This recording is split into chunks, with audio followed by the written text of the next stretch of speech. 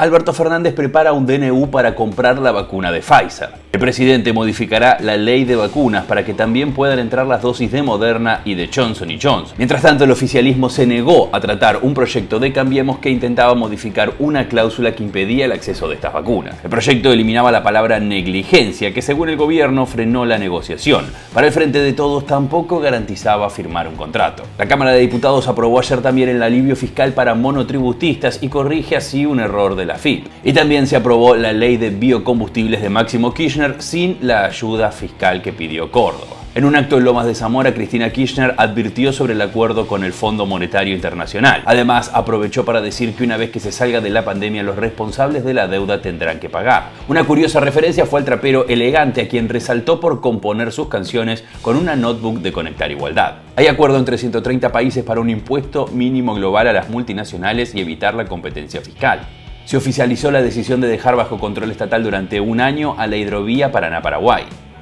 Principales temas para estar bien informados.